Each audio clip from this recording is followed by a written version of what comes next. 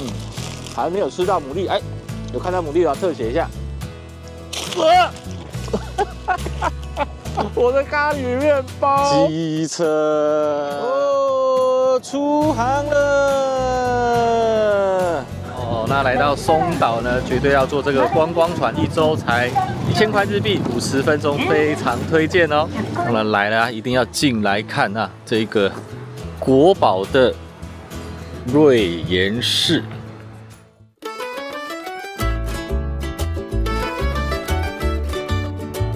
大家好，我是北海道女婿 Jerry。那我现在所在的地方呢，不是北海道，在仙台哦。那因为出差的关系啊，我来了一趟仙台。那其实正事呢已经处理完了。那我在仙台多留一天，想来这边逛一逛。那刚好上网看了一下，这边有一个日本三景之一哦，叫做松岛。那看起来是一个非常有名的地方。老实说，我是昨天才知道的哈。那今天这影片呢，就大家去看一下这个日本三景之一的松岛哦。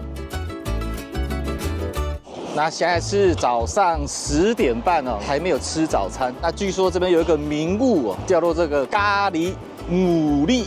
面包哈，听起来就很威哈。哦，今天早餐就吃这个名物了，牡蛎咖喱烫哦。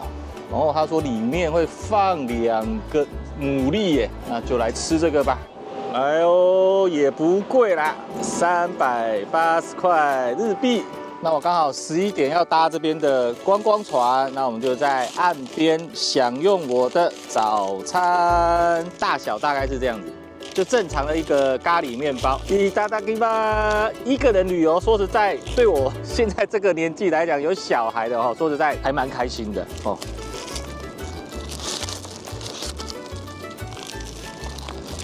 嗯，还没有吃到牡蛎，哎，有看到牡蛎了，特写一下。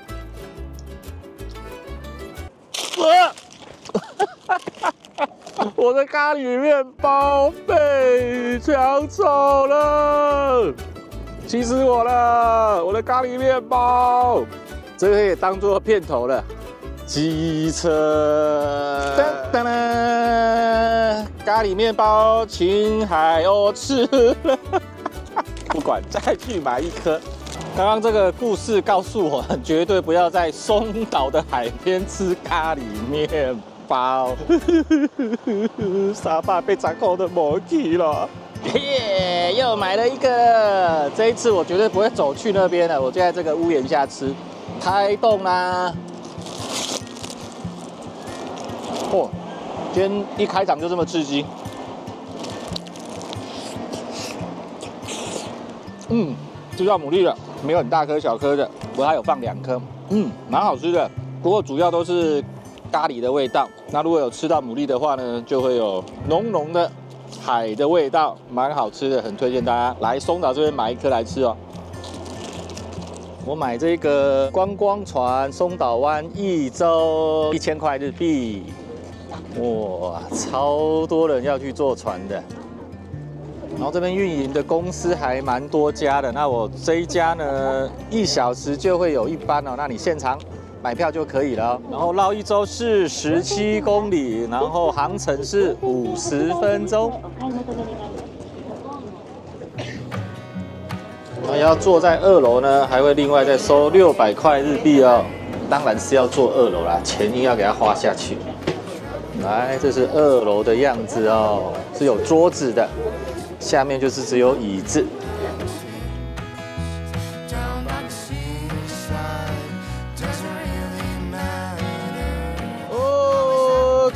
长了。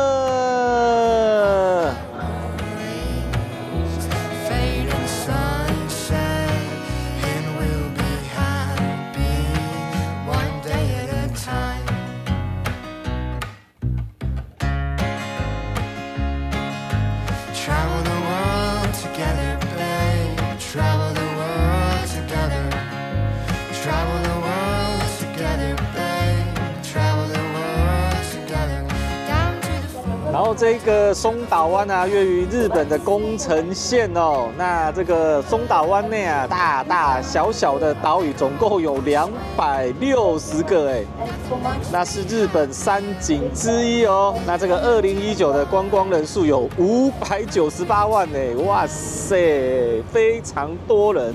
然后贵宾舱里面还有这个卖。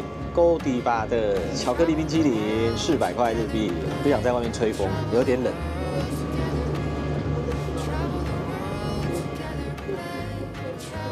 的好运。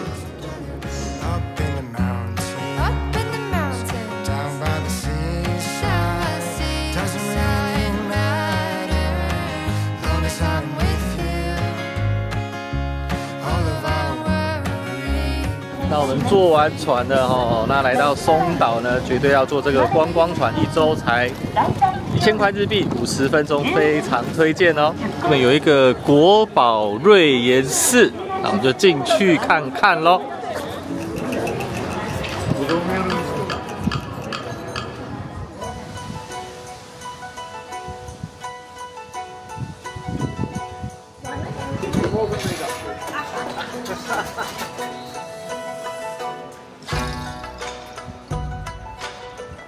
那入场费是七百块日币哦。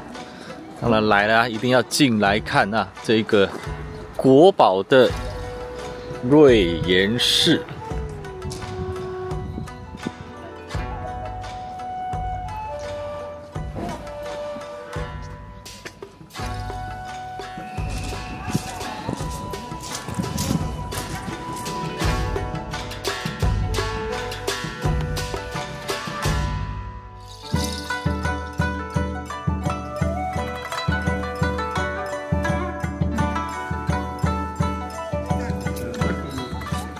面是禁止拍摄哦，只能在外面拍给大家看。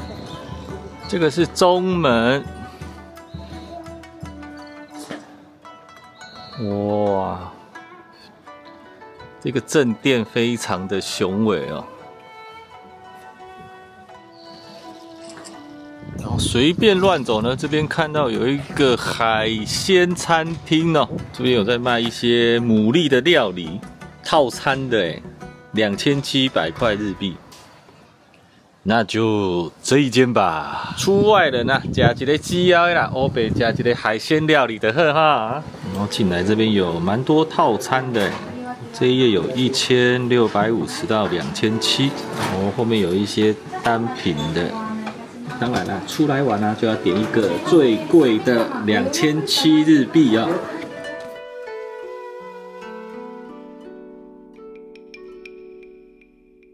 想不到随便进来一家店呢，那这个料理这么澎湃哦！来啦，先来吃一个，应该是牡蛎，生牡蛎嘛？啊，蘸错酱，蘸错酱，直接吃了，直接吃了，不懂吃。嗯，好吃，因为松岛这边也是产牡蛎的一个产区啊，所以这边的牡蛎绝对新鲜。炸牡蛎。棒，出来旅游吃美食。嗯嗯，里面包的牡蛎都很大一颗。这家店真的不错，价格我是觉得就是中间再贵一点点，但这个品质我觉得很 OK 啊。那我会把这个餐厅的资讯放在我的说明栏。下次如果来到来到这个中岛玩啊。可以走过来这间餐厅，从这个瑞岩寺走过来，差不多一分钟而已。来，这个是真牡蛎，真的真的很大一颗哦。其实我蛮喜欢吃牡蛎的，然后我有在做这个贸易的出口，所以这一次来仙台这边看一下牡蛎的状况。说实在，去年跟今年的水温都很高啦，牡蛎就是死的蛮惨的。我现在是苦中作乐啊！今天这个努力的生意能做多少顿我都不知道。最惨的状况就是不做了哦，因为死一半嘛。这个厂商说要涨一倍啊，随缘随缘呐，做生意就这样啊，有赚有赔啊。但是出来玩的心情绝对不能坏。嗯，这个新鲜，没话说。本身我在做牡蛎的，这个没话说啊。这量的先夸 Q 最 Q 最，这量 Q 最。大家如果选牡蛎的时候呢，大家选这个壳啊要深一点，侧面看要深一点，不要选那种扁扁的，扁扁的那个肉就没有生长的空间。哦，一点小 pepper，嗯，小归小，肉也蛮大颗的。嗯，我去，没话说。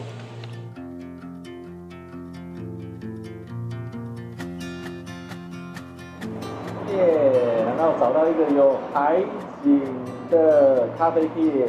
但是我来吃圣代，来啦，下午茶啦。这次出来玩完全没有做功课。嗯，但是处处是惊喜呀！而且去的店啊、中餐啊，连这一个圣代都蛮好吃的。然后早上那个被那个海鸥吃掉的咖喱牡蛎面包也非常的好吃哦。那差不多，等一下我就要坐飞机回北海道喽。那现在北海道女婿呢，在北海道有坐租车哦。如果来北海道自驾，找女婿租车最安心哦。然后呢，租车连接放在说明栏。这一次所有的旅游资讯、餐厅、美食，我也都放在说明栏哦。我是北海道女婿，我们下支影片再见了，拜拜。有时候旅行啊，也不用说。准备很多计划，心情对了，人对了就好玩。说实在的，旅行就是这样子。你人不对哦，说实在的，那真他妈的有够难玩哦。